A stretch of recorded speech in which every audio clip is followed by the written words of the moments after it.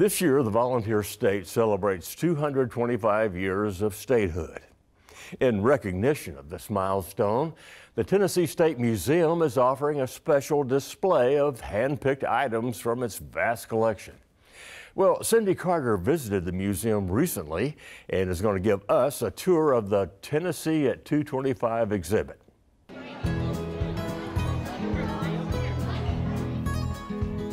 Inside the Tennessee State Museum in Nashville, there's plenty, I mean plenty, of cool things to look at, learn about, and discover. 225 years worth, in fact. 225 years ago in 1796, Tennessee becomes the 16th state admitted to the United States. And so we really want to talk about this legacy of what it means to be a Tennessean, whether you moved here, whether you were born here. And we really wanted people to think about what are these themes that unite us um, in our connection as Tennesseans.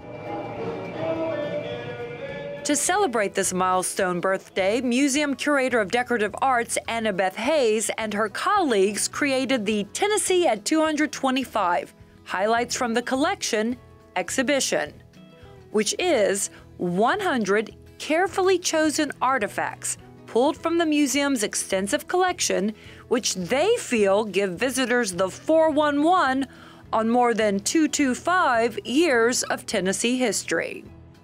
We have listed the 100 objects and we have color coded them by the theme. And so as you you can either follow that guide and walk around and look for them for yourself, or you can just kind of look as you go. The items fall under one of five overarching themes community, transformation, service, innovation, and art, and cover early settlers to present day.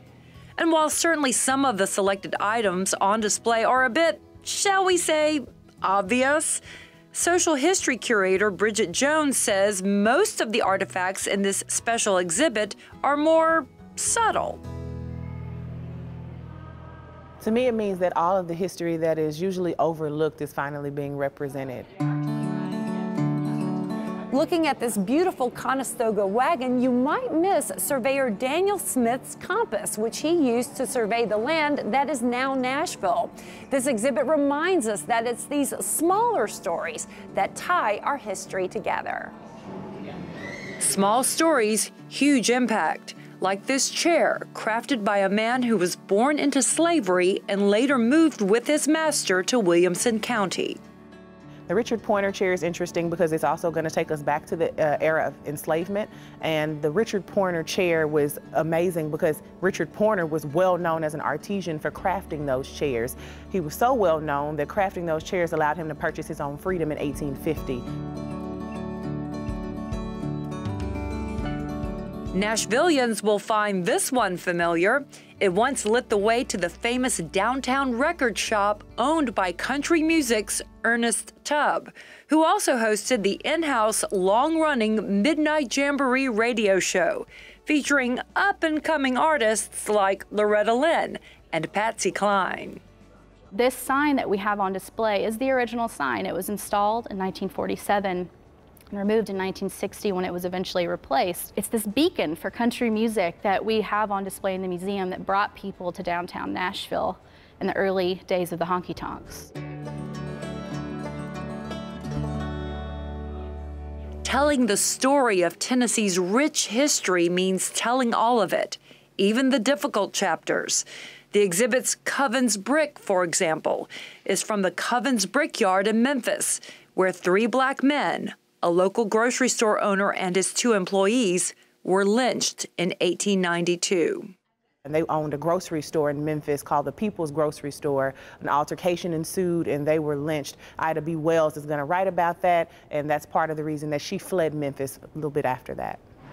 This deep dive into Tennessee's past also includes items from the state's not so distant past. So much happening in our world today, and objects like the Pat Summitt vest not only honor the contributions of Tennesseans who have definitely dominated in sports and other areas that you typically wouldn't think women would dominate in, but it also allows Tennesseans to see that there is no ceiling for anybody and everything is achievable if you work for it. While you're looking at that Lady Vol vest, you might want to drop your eyes a bit lower to the small wire sculpture beneath. The artist, Vannoy Streeter, nicknamed Wireman, was born in 1919 Wartrace. Streeter grew up on what would become a Tennessee walking horse farm and learned at an early age how to groom and train horses, a clear inspiration in much of his artwork. So we have this wire sculpture of a Tennessee walking horse with an African American trainer and a top hat and coattails sitting on top. And that really was his trademark sculpture. 100 artifacts, 100 stories, woven throughout an already impressive collection. It's a history lesson, sort of a Cliff's Notes version of what it means to be a part of the volunteer state. 225 years and counting. Tennessee is a distinct place that shaped the nation. Seeing this stamp, I guess, that Tennesseans have left on the long history of the state and how what it means to kind of be a part of that social fabric and how we can contribute to that and continue to mold what it means to be a Tennessean today.